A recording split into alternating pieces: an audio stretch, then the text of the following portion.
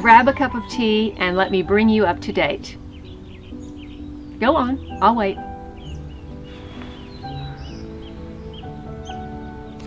I wasn't going to shoot an update today because I've had so many updates lately. And I thought, give my viewers a rest. but something just happened and I said, this has to go on record. And I'm going to show you that in a minute. But there's a lot of things I wanted to tell you that are coming up and also things that have been going on and I wanted to bring you up to date. First of all, I got a new hat and thought I would be optimistic and wear it today in hopes that the sun might come out. I have just finished spraying all of my tomatoes and I was going to count how many plants I had and I forgot to do that. I'll put that on the screen. I wanted to point out a few things that uh, people have written to me recently that have made an impression on me and that I appreciate and wanted to share. Because you might not necessarily see a comment that someone else leaves underneath one of my videos. Now, I think it was my very last video or so when I threw away the root balls of the sweetgrass from those planters. And the creator at Kalen Films, who watches every one of my videos, wrote me immediately and said, don't throw out the root ball. The root ball has so much going on in it, you don't want to throw those in the green bin. You want to either compost them at the very least or plant compost back into the top and plant in that root ball. I do appreciate all of your comments, all of your helpful comments, and I do take them to heart. I don't always have the time to try everything that people suggest, and I think a lot of the times suggestions don't really apply to my garden. It doesn't freeze in my garden. I am in Los Angeles near the ocean and the spores just fall to the ground and are very eager to jump back on the plants at the first opportunity, the first little gust of wind or drop of rain. Pruning is essential to keep lots of air around your tomato plants. But there was one plant I did not prune. I just let it go wild. And I thought, let's see what happens. well, I'll tell you what happens. It sprawled out all over there and the leaves are absolutely covered in white polka dots. So what did I really get out of not pruning that plant? I wanted to give a shout out to one of my super fans in Ashland, Kentucky. Angela and her husband watch all of my videos and even though they've suffered injuries and have physical disabilities, they have used a lot of my ideas in their garden and have been inspired by me and I want to give anyone a shout out who has been inspired by me so please let me know if I have. Juliana HM in Germany is loaded with great advice. She's very knowledgeable. If you see her comments under my videos, please take notice.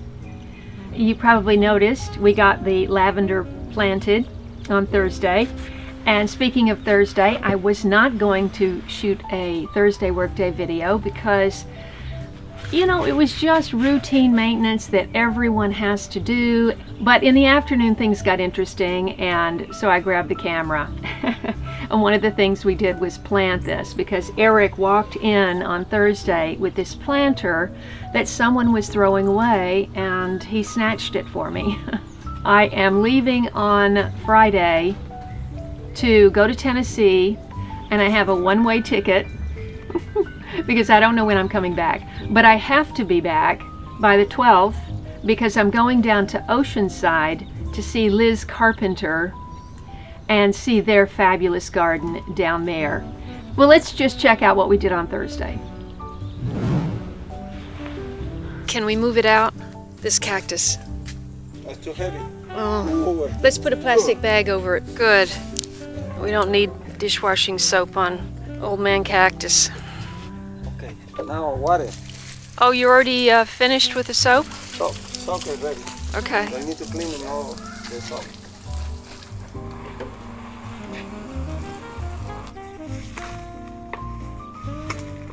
It doesn't have a lot of room to grow.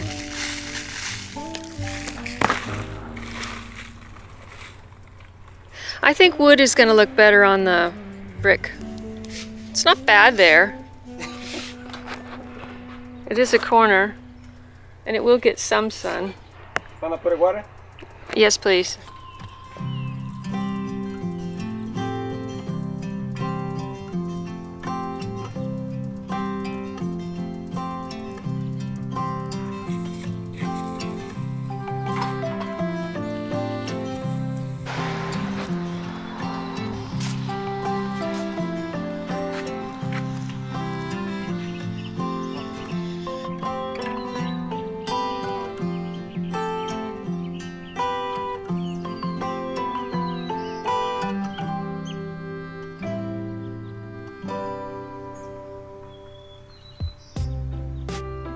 Please watch my epic cooking video that I just uploaded, Father's Day Brunch. Not only do I share my quiche recipe of 30 years or so, I do the whole meal. It's a whole meal cooking video and I really hope you check that out. The story right now in my garden is figs, olives, some tomatoes, the burgundy bush beans, oh my, I have harvested three and a half pounds. The plants are supposed to produce all summer. I find that very hard to believe because the leaves are already starting to not look so perfect. Three and a half pounds out of a three by six foot raised bed. Now that's remarkable. My fig trees, I have two. I had a big brown turkey fig you'll remember from last year and I made a lot of fig jam from that tree. And I had a few desert figs because you may recall I transplanted that fig tree from a pot into the ground early in um, 2017 I think. But oh my gosh I thought well this is just going to be a little fig tree and it's going to produce little figs and a few of them and oh no it is catching up to the brown turkey fig I don't fertilize the fig trees at all. I don't water them directly because I can't even get in there. It's a complete jungle. So all they get is city water through the drip line. And not a lot of that because I'm very stingy.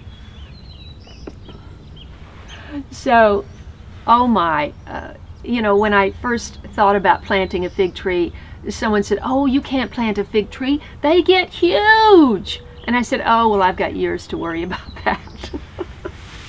well, I think uh, between my lemon and my orange tree and my two fig trees, there's not really going to be room for anything else in this tiny front yard.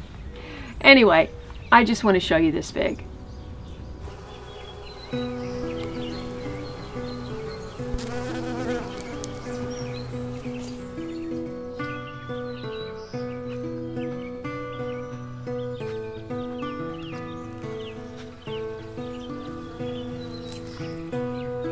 you see what I'm looking at?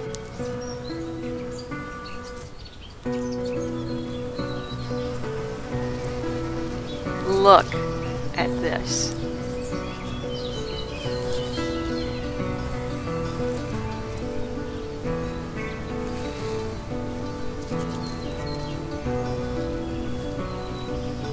Oh my goodness, it's ripe.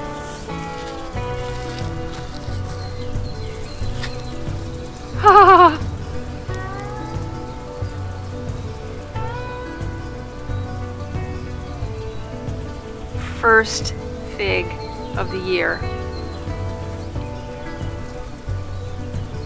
Wow. I think we should weigh it. And I just happen to have some prosciutto. I bought it yesterday. Breakfast! So that is let's see, three eighths of a pound.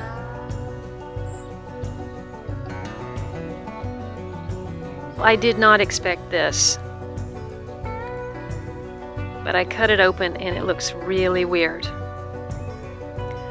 So that just doesn't look that appetizing to me.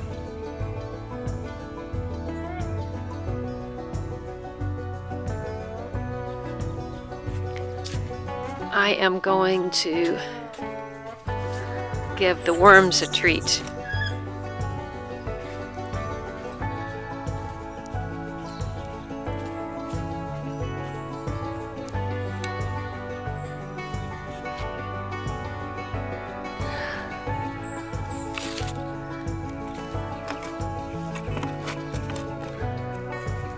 I don't think the worms will be too picky about their fig. Someone also was curious as to whether I share produce with Eric, and the answer is yes. Sometimes there's nothing to share, and then other times there's stuff that I can share. So Thursday he went home with a big bag of lemons, and I still have, I can't even lift this. I can lift it with my left hand this, whoa, God, I thought it was a bee. Don't scare me. I've got this many. this is unrelated to gardening, but something very exciting happened to me this past week and I wanted to share it. One of the actors I really have admired for over 30 years is Jeremy Irons and he and Lesley Manville are doing a long day's journey into night in Los Angeles this week and I went to the play on Tuesday night and I got to meet him afterwards and we got a photo and he was very very nice and so was Lesley and it was a real highlight to get to meet them and spend a few minutes in their company. The next video that I edit will be my Phoenix video that I did last year that I never finished. And I owe it to all those beautiful gardens I visited to get that done. So look forward to that. Thank you so much for watching. Thank you for liking my videos and sharing them with your friends. And I'll see you in the next one.